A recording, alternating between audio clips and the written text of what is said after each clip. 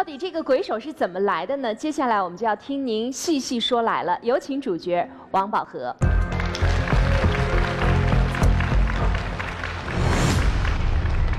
这个鬼手的来历是九九年在香港九龙艺术中心看我表演，表演完了他也没闹出来，上来以后，这手抓着手，看了前边再看后，摸来摸去，摸来摸去，最后说了一句话：“不是手啊，鬼呀！”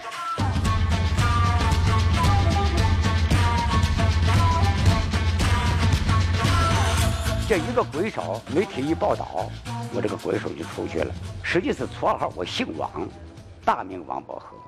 这个东西啊，跟别的魔术不一样，别的魔术是靠道具，咱们中国的东西是靠着手法。零二年的时候啊，大你们不会，我也说了这几句话。